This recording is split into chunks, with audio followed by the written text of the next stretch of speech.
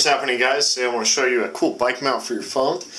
This guy right here is called the Velocity Clip and the cool thing about it is it fits all smartphones and when you put your phone in here it's really secure. Uh, all you need to do is slap it right into the chest mount, the helmet mount, or the bike handlebar mount and you can start filming and taking really cool action footage.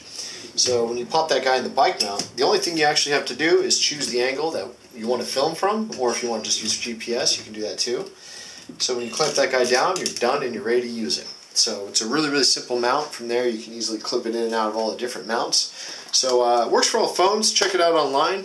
Only about 40 bucks uh, over at velocityclip.com. It even comes with free shipping, so check it out and let us know what you guys think. Thanks for watching.